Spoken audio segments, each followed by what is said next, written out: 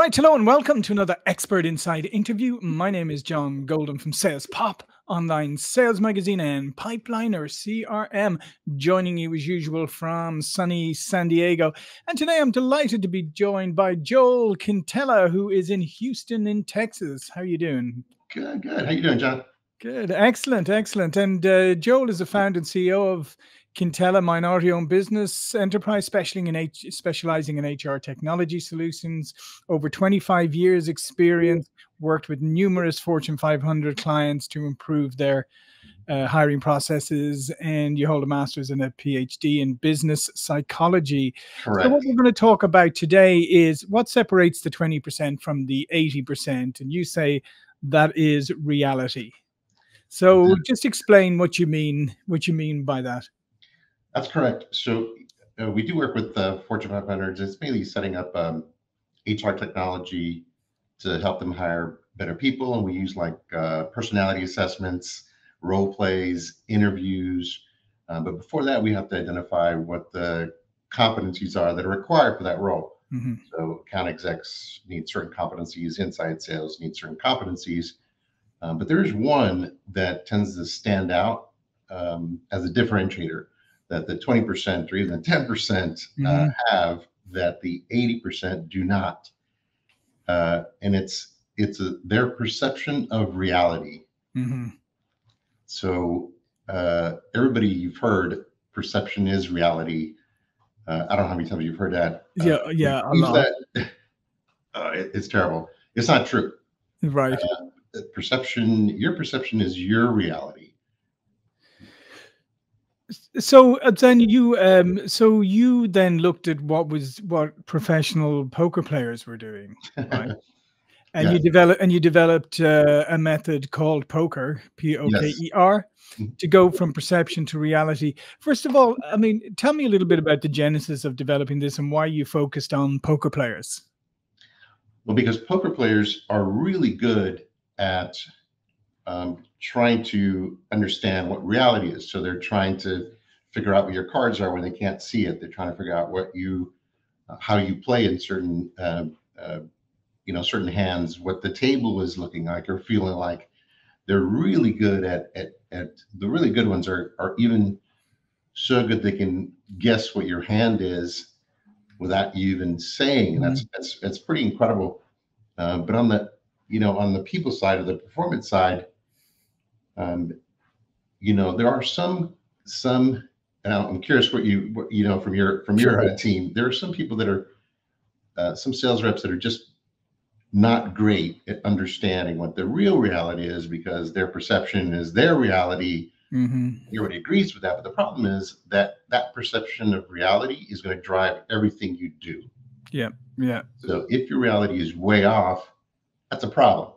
Hmm Yeah, no, I, I I definitely would agree with you. I think there are, uh, y- you know, there's a lot of sometimes you have salespeople who have happy ears. I would like like to call it, Yeah. and that's where that's where I kind of I what you say I interpreted with my happy ears, and that's why you know I come back from the meeting going, ah, fantastic, everything is going great, but the reality is. You, all you did was agree to meet me for lunch again. So all, the reality is, all I really am doing is buying you another lunch. It hasn't moved any of the process forward. Exactly. Um, uh, you know, and some people are just really good at really good at uh, understanding what the reality is. So if they're really good at it, then they're going to understand. Well, uh, I'm I'm not ahead now. I better do something. I Mhm. am ahead. I better do something. If you are way off, you think you're ahead, and then you behave like your head and that, that's it. Everything is everything is gone. And I see this all the time. Um, and it's hard, it's easy to spot. I'm sure if you think of five sales reps that you know at the moment, you could probably uh, you could probably say this one is pretty close to reality. This one isn't. All this one is. This one isn't. Um, so it's a natural talent to some extent, but there's also a way to go from perception to reality, and that's where the poker uh, analogy comes Right. into play. Um, and it is uh, P O K E R. And I just developed the model based on what these expert um, poker players do to get to reality. Yeah. And the number one, yeah, go ahead. No, I was going to say, and obviously a big part part of this is self awareness, right? Because Yeah. I think I I think that is the key to success. To be honest, it's self awareness. Unfortunately, most of us develop it like over a long period of time and way too late, If you're and lucky. probably the hard way. Exactly, and that, that's actually one of the one of the uh, uh, one of the letters. Uh, we start with P. It's uh, what what poker players say is play the player. So they don't necessarily play the cards that they're holding, but Mm, they understand the the individual that's or the individuals that are playing against them. And a lot of people think it's tells. There's always one tell, not, and it isn't that. There's actually a pattern of behavior that these poker players are looking for. For example, I, I don't play anything but aces. So if I'm in the hand, I'm putting money in. The really good ones just no, no, no. He's, he's already got aces. Um, but they're looking for patterns. What did I Mm. do two hours ago? How did I play this particular hand? Uh, everybody has sort of a range of hands that they're going to do and a range of behavior that you're going to do. And whenever that behavior that you do is outside of that range, you better check to see what's happening. But you have to know what that range is yeah. and that's the the play the player component. Uh, the second one, the O, is what you were talking about, which is uh, in poker, if you uh, what they call a bad beat is you know if you're 99% uh, chance of winning, and then somebody gets the exact card that they need, and they it, it really uh, upsets you, right? And they call it on tilt, being on tilt. So the O is you have to overcome being on tilt as quickly as possible, because if you don't, you're going to make some really dumb mistakes Right, and you're going to act on emotion, right? emotion, right? Exactly. And for number one is what you were saying, which is you have to understand what the trigger is. Something's Mhm. going to trigger you and you're going to fly off the handle.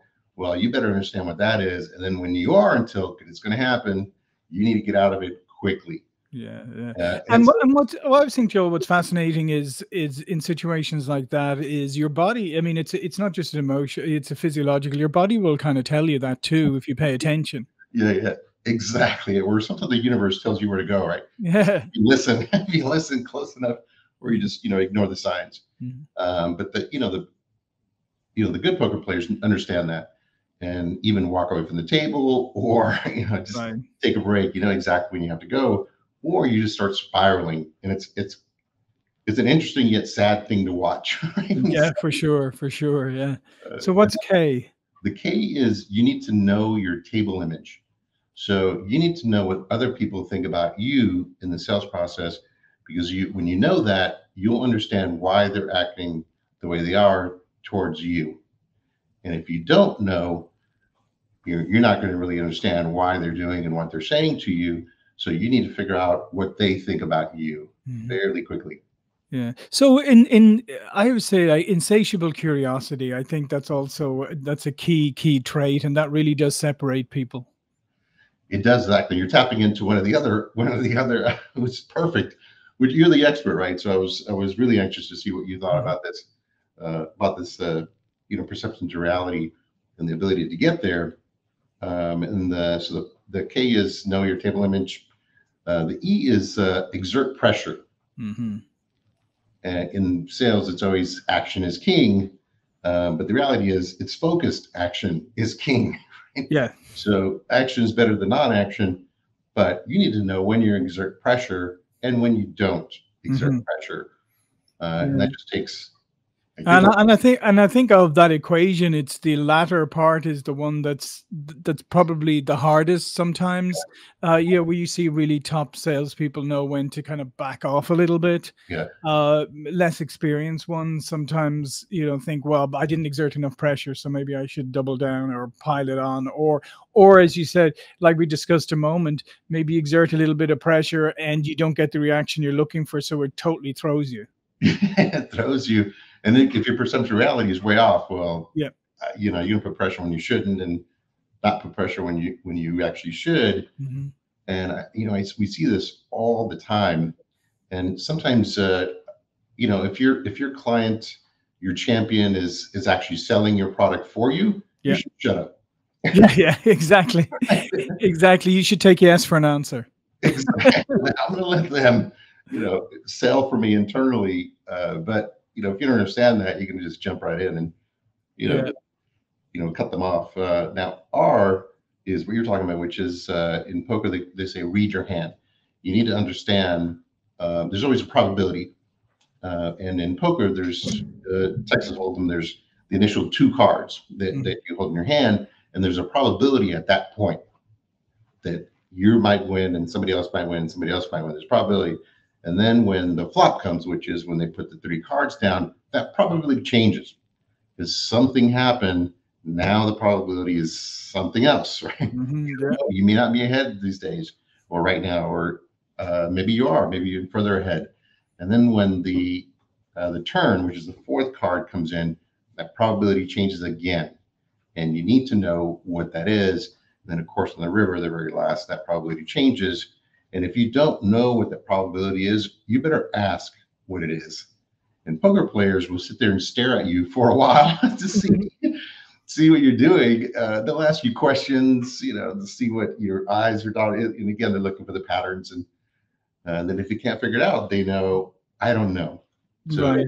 good good sales reps uh, understand that they know what it is or they don't know what it is. And if they don't know what it is, you have to do something to figure that out.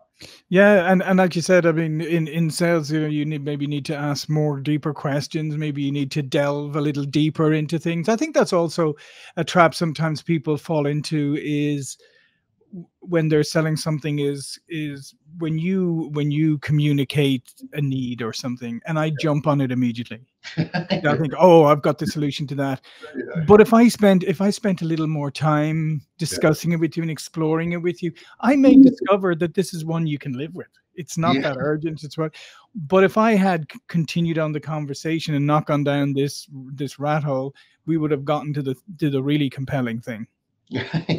Another part, you, you see the, you know, never never sell what's already sold. Mm-hmm. You, need to you need to shut up when they're, you know, you know, you've already sold it, and you keep going, and then you get yourself out of the out of the deal because you said something stupid, right? Uh, yeah. That happens all the time, it, and mm-hmm. you know, I've learned the hard way. That's what I shouldn't do. Yeah. Uh, so, uh, so when you see those those uh, poker those poker pros, what mm-hmm. are so what, from what you're talking about? Obviously, one of the key traits is very deliberate, intentional actions. Yeah. Yeah, exactly, and and they understand that, uh, and other people don't. These these seem like very uh, easy tactics that you can learn, but it takes them forever to know that. Um, you know, know your table image. You know, that's hard to that's hard to read mm-hmm. for some individuals, but they understand that maybe they don't know what it is, and then they one they understand that I don't know what it is. and I don't know what it is, I need to do something about mm-hmm. it. Yeah. Um, and that's pretty much where it's it's more of a they've learned how to do this, one, recognize it, and they've learned what they can do to get out of it or to understand more about what's happening. Um, that just moves them closer to reality, and therefore they make better decisions when they're uh, when they're playing against you. Yeah, and I think that that is a great uh, correlation with your top top salespeople who are gathering lots of different inputs all the time, yeah. and then you know bringing them together and and trying to see, as you said, see the patterns, see what's going on, as opposed to just superficially looking at things.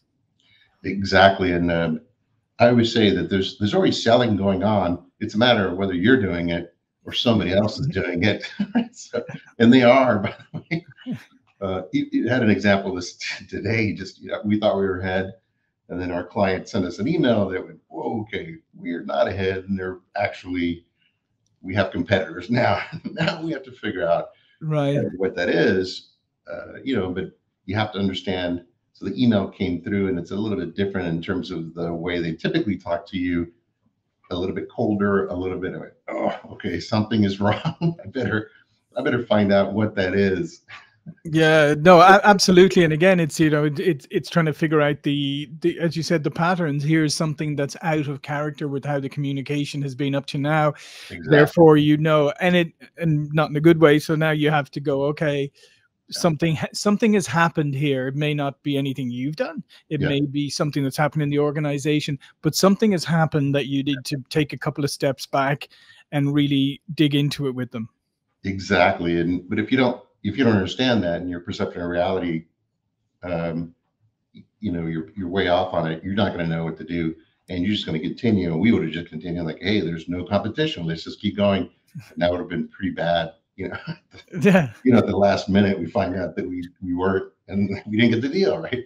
Yeah, and unfortunately, that happens. That happens uh, a lot. Again, I think it's and I think as you go through the sales process, as we as your, whatever your sales process happens to be, I think r- rigorous uh, adherence to your sales process is key. Yeah. And I, I I presume like none of these uh, poker pros turn up and wing it, do they? I mean, they don't just roll in and just say, no. "Oh, I'm just going to wing it here."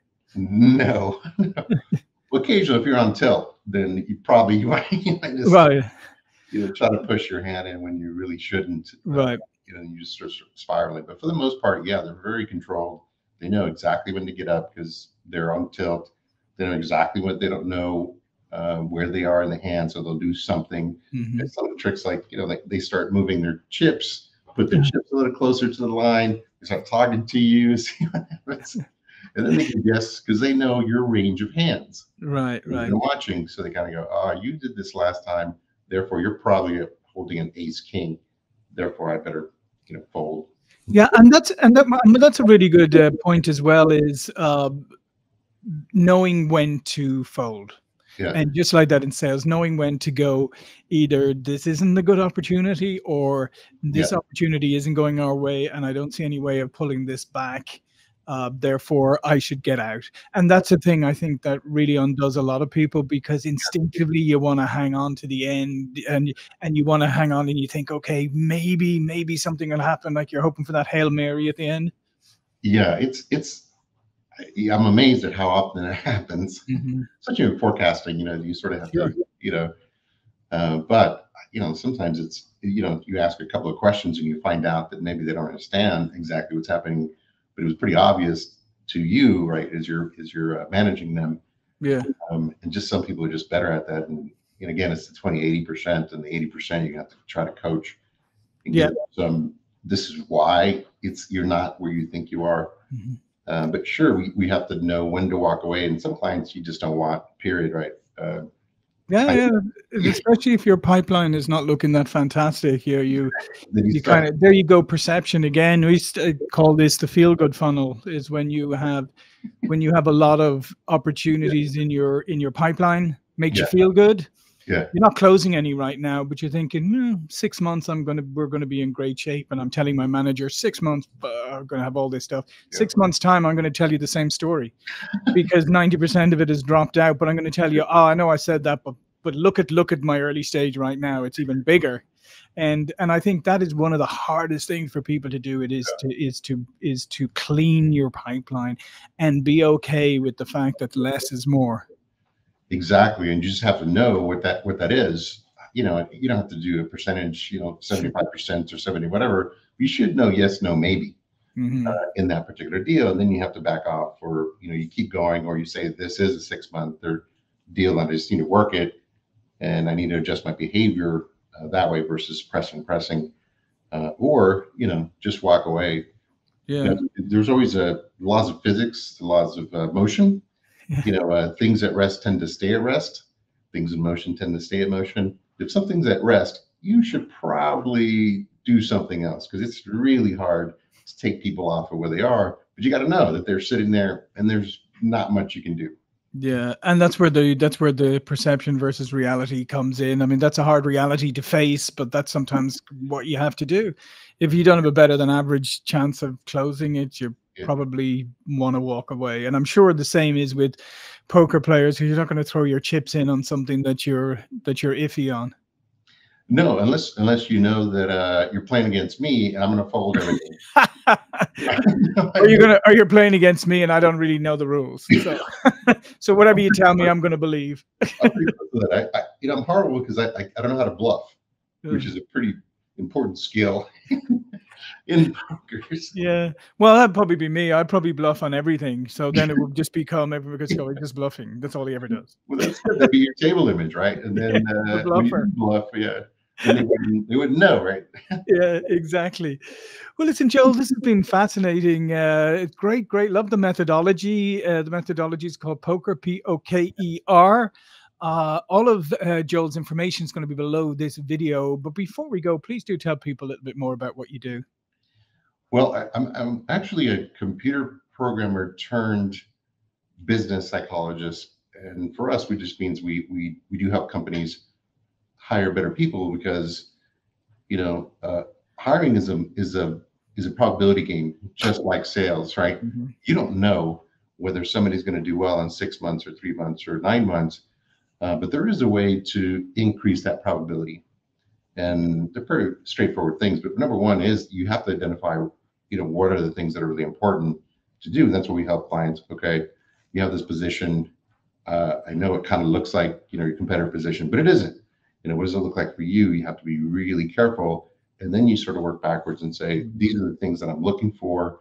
How can I actually assess those things? Some Yeah. things are interviews, some things are role plays, some things are assessments, uh, and that's how you increase the probability of success.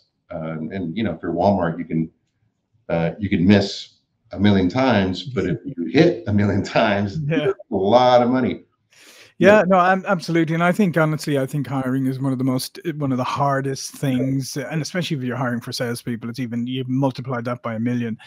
But uh, and and I would challenge most people. I freely admit myself, I guarantee over my career, I have hired way more wrong people than right people. Because as you say, it's hard if you don't have a good process in place, and even sometimes even if you do, you, you can't figure out until about six months in, you know, three to six months in, and so I think anything that helps you hire better is a good thing.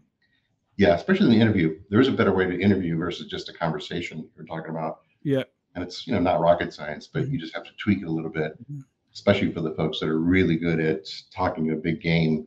Yeah. Uh, you know, they get by pretty quickly. And if you do, if you're hiring salespeople and role plays isn't part of your hiring process, there's it's, there's something wrong. There's something exactly, or analysis presentations, Yeah. or, you know, maybe you start looking at this perception reality where, you know, where are they? Yeah. Um, typically, you know, you can do that by using assessments, like personality tests, IQ tests. Absolutely. Yeah. All right. Well, listen, thanks again, Joe. Thank you for watching and listening. See you all again very soon.